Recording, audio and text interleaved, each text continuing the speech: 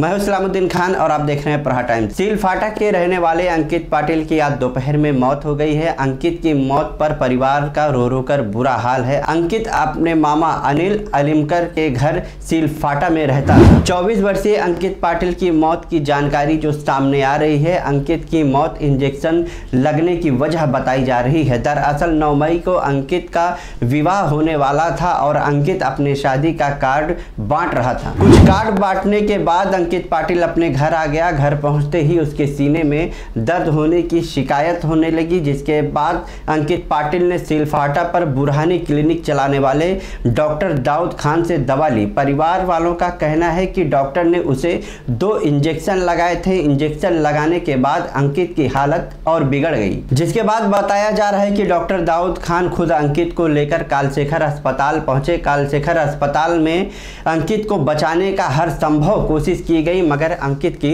मौत हो गई। तो इलाज करने के लिए वो सुबह सुबह गए हैं। तो वहाँ पे इलाज करने के दरमियान डॉक्टर की सबसे पहली प्रोसेस ये रहती है कि उसको बीपी चेक करना चाहिए। उसका जो पल्स है वो कितना है वो देखना चाहिए। और विदाउट चेक किए बगैर उन्होंने उसको दो इंजेक्शन मारे। और दो इंजेक्शन मारने की वजह से उसका बीपी एकदम से गिर गया। और बीपी गिरने की वजह से वही वो क्लिनिक में गिर गया और उसके मुँह से पेस वगैरह आने लगा। तो डॉक्टर ने खुद वो उठा के कलशेखर हॉस्पिटल बाजू में है, वहाँ जाके उनको एडमिट किया। तो वहाँ पे डॉक्टरों ने काफ़ी सारे प्रयास किए। बीपी गिरने की वजह से उनका हार्ट जो है, वो फ़ंक्शन नहीं कर रहा था। और आधे पौने घंटे तक वो हार्ट के ऊपर पंपिंग किया गया कालशेखर डॉक्टर की तरफ़ से। लेकिन वो हार्ट ऑपरेट नहीं हुआ।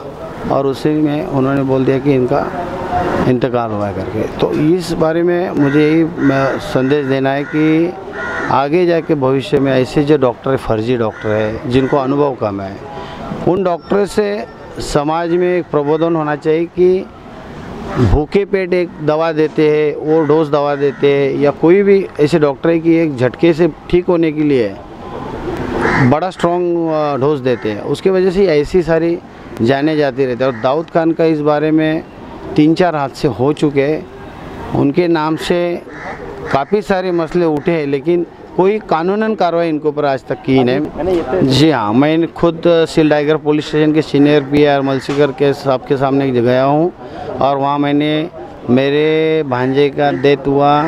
ये डेथ होने के 10 मिनट बाद मैं पुलिस स्टेशन पहुँचा और मैंने पूरा जानकारी उनको दिया। अब भविष्य में ऐसी किसी को दिक्कत ना आए इसके लिए मैं उनको ये जानकारी देने के बाद खुद सीनियर साहब हॉस्पिटल आए, उनका स्टाफ आए, उन्होंने एसीपी साहब को भी इसके बारे में जानकारी दी डीसीपी साहब को भी जानकारी दी और तमाम सारे जो कार्रवाई करने की प्रोसेस है, वो उन्होंने चालू की है। और मुझे भरोसा है पुलिस के ऊपर कि वो इसमें आखिरी मंजिल तक वो मामला पहुंचाएँगे। ये जो घटना घटी है, बहुत दुखद घटना है।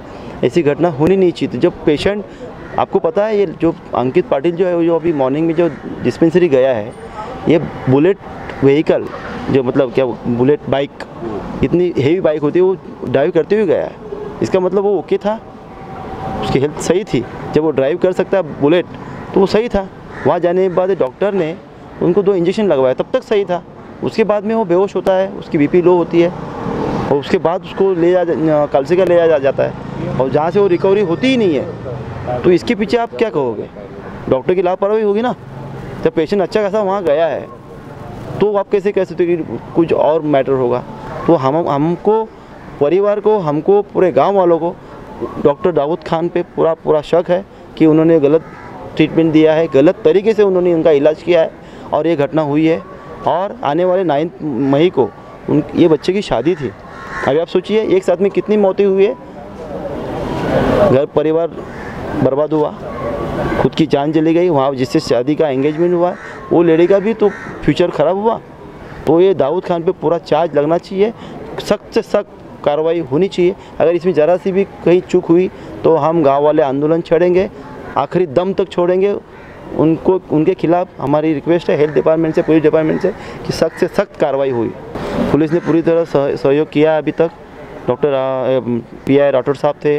मालेकर साहब थे, उन्होंने पूरा भरोसा दिया है कि हम कहीं चुक नहीं करेंगे। जितनी कड़ी से कड़ी सज़ा हो, हम देखे रहेंगे इंक्वायरी अच्छी करेंगे पीएम आने के बाद उनका प्रोसेस स्टार्ट होगा।